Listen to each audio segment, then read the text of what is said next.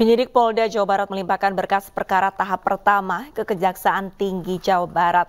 Lantas apakah pra peradilan yang diajukan kuasa hukum Peggy terancam batal? Untuk membahasnya, kami sudah terhubung dengan Kasih Penkum Kejaksaan Tinggi Jawa Barat, Bapak Nur Sri Cahya Wijaya dan kuasa hukum Peggy Setiawan, Bapak Tony RM. Selamat sore Bapak-Bapak. Selamat sore. Ya, selamat sore. Baik, saya ke Bapak Cahya terlebih dahulu. Ya. Baik, saya ke Pak Cahaya terlebih dahulu. Pak Cahaya, untuk dari tim ataupun jaksa peneliti, apakah sudah menerima pelimpahan berkas P21 dari Polda Jawa Barat? Baik, uh, terima kasih Mbak. Uh, sejak diterima di PTSP, tim jaksa penuntut umum sementara sedang bekerja untuk meneliti berkas perkara. Baik, kalau misalkan kita lihat dari runutannya pada saat penerimaan berkas, itu sebenarnya jaksa peneliti membutuhkan waktu berapa hari untuk menentukan sikap, Pak? Ya. Kalau untuk menentukan sikap uh, sesuai UHAP, ditentukan untuk lima tujuh hari untuk sikap. Lima sampai tujuh hari. Baik, saya ke Pak Tony. Sampai 14 hari. Sampai 14 hari. Baik, La, uh, saya ke Pak Tony. Pak Tony, ini berkas P21 sudah diserahkan ke Kejaksaan Tinggi. Lantas tanggapannya untuk Pak Tony, apakah kira-kira untuk sidang pra peradilan Peggy Setiawan ini akan terus dilanjutkan? Karena ini untuk rentang waktunya amat sangat pendek, Pak Tony. Ya, sebenarnya pelimpahan berkas ya, bukan P21. Kalau P21 itu berarti jaksa peneliti menyatakan lengkap ya, okay. Eh, sehingga nanti bisa disidang. Ini masih berkas saja, belum katakan P21 oleh jaksa. Gini, silakan saja itu kewenangan penyidik ya, yang diatur dalam KUHAP. Kalau merasa penyidik itu berkasnya sudah lengkap, merasa sudah lengkap, itu dilimpahkan. Memang itu dalam aturan ya, dalam KUHAP. Hanya saja kami mau menanggapi begini, kasus ini kan viral, kesaksian bermunculan di mana-mana, uh, artinya pada meragukan ya bahwa Peggy Setiawan itu adalah pelakunya. Kami pun ya punya keyakinan karena karena uh, yang DPO itu adalah Peggy alias Peron. Dalam putusan pengadilan terdahulu tahun 2016 atas nama delapan terpidana itu tidak ada petunjuk mengarah ke Peggy Setiawan. Tidak ada barang bukti yang di, yang di, yang menunjukkan uh, motor Suzuki Smash yang saat ini digunakan yang saat ini disita oleh penyidik Polda Jabar. Tujuh sepeda motor yang disita atas uh, jumlah 11 pelaku itu tidak ada motor Suzuki Smash kemudian tidak ada petunjuk ke Peggy Setiawan yang ada Peggy alias Peron. Kemudian ditetapkan dalam DPO Peggy, Peggy alias Peron juga dengan ciri-cirinya semua sudah tahu beda dengan Peggy Setiawan yang ditangkap. Artinya ini kan e, menjadi e, rumit ya jika kemudian jaksa penuntut umum atau jaksa peneliti dari Kejaksaan Tinggi Jawa Barat menyatakan lengkap ya berarti bola panas nanti berada di kejaksaan kami akan lawan, kami akan lakukan upaya-upaya, termasuk melaporkan ke kejaksaan, melaporkan ke KPK, dan seterusnya. Itu. Baik, baik Pak Cahya, saya kembali lagi ke Pak Cahya. Pak Cahya, sejatinya ini untuk e, penyerahan berkas hingga akhirnya jaksa memutuskan e, berkas ini sudah lengkap, ini apakah membutuhkan waktu lebih dari tujuh hari atau 14 hari atau justru kurang dari itu Pak Cahya? Uh, kalau untuk menentukan lengkap atau tidak tergantung dari teman-teman uh, jaksa dalam meneliti, tetapi sesuai undang-undang diberikan waktu sampai 14 hari. Dengan si menyatakan sikapnya di dalam uh, waktu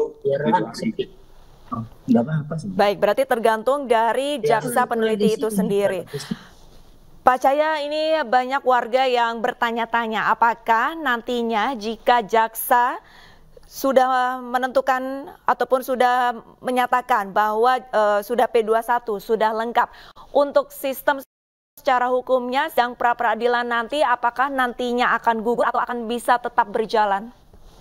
Uh, mohon maaf itu kita lihat dulu dari esensi dari uh, putusan pra peradilannya.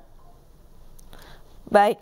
Saya ke Pak Tony. Pak Tony, ini banyak warga yang mengkhawatirkan juga dengan adanya pelimpahan berkas hingga nantinya jika memang sudah berkas lengkap atau P21, ini sidang pra peradilan dikhawatirkan akan ditolak atau gugur. Tanggapan Anda seperti apa Pak Tony?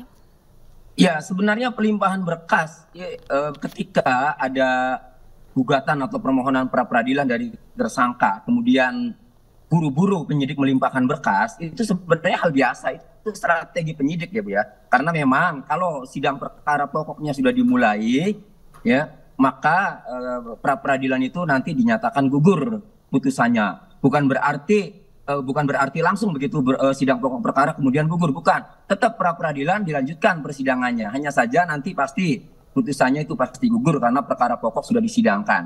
Nah, jadi ini kan strategi ya jadi eh, tidak tidak harus kemudian pra peradilannya itu otomatis batal ketika dinyatakan lengkap, tetap dilanjut ya sesuai dengan eh, tahapan-tahapan eh, sidang pra peradilan ya. Cuma kami mau menegaskan sekali lagi, tolong hati-hati ya jaksa eh, jaksa kejaksaan tinggi pada pada kejaksaan tinggi Jawa Barat, jaksa penuntut umum hati-hati karena ini kasus rame pak ya. Jangan sampai ya uh, memaksakan uh, timbul. Kami ini praktisi hukum. Sudah biasa bu. Berada di pelapor kemudian terlapornya membuat pra peradilan. Kami komunikasi dengan penyidik kemudian kami komunikasi dengan uh, hakim komunikasi dengan jaksa ya pada saat menjadi pelapor. Udah biasa. Makanya sudah tahu lah budaya-budaya itu. Saya minta kepada pesan kepada Bapak Cahya selaku Penkum tolong Pak hati-hati Pak. Ini nyawa orang Pak ya. Ini nyawa orang. Tolong. Jadi harus pakai nurani Pak harus pakai keyakinan beralat buktinya yang benar-benar kuat, yang benar-benar sah. Bapak akan menyidangkan ke pengadilan. Tetapi Bapak ini manusia Pak, punya anak. Bagaimana kalau terjadi pada anak Bapak seperti ini? Ya, itu saya mohon kepada Pak Cahya yang dalam hari ini kami bisa komunikasi. Terima kasih. Mohon Pak kami pesan hati-hati Pak. Itu saja. Pak Cahya tanggapannya Pak Cahya? Baik, uh, terima kasih kuasa hukum. Uh, kami minta waktu juga karena berkasnya baru dikirim. Kami lakukan penelitian juga oleh teman-teman jaksa peneliti sehingga sikap dan perkembangannya eh, teman-teman pasti uh, teman pengacara ataupun teman-teman media pasti akan diinfokan. Demikian.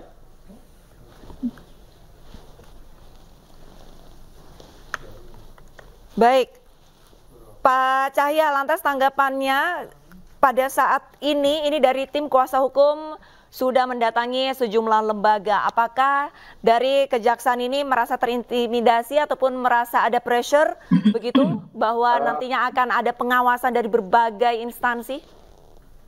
Baik, uh, terkait eh, teman-teman kuasa hukum, saya rasa tidak ada intimidasi, tetapi itu mulai uh, menjadi kontrol untuk jaksa lebih lebih lagi profesional dalam menangani perkara tersebut karena uh, sudah menjadi atensi dari pimpinan kami sendiri di Kejati Jawa Barat maupun pimpinan kami yang berada di Kejaksaan Agung. Demikian, Pak.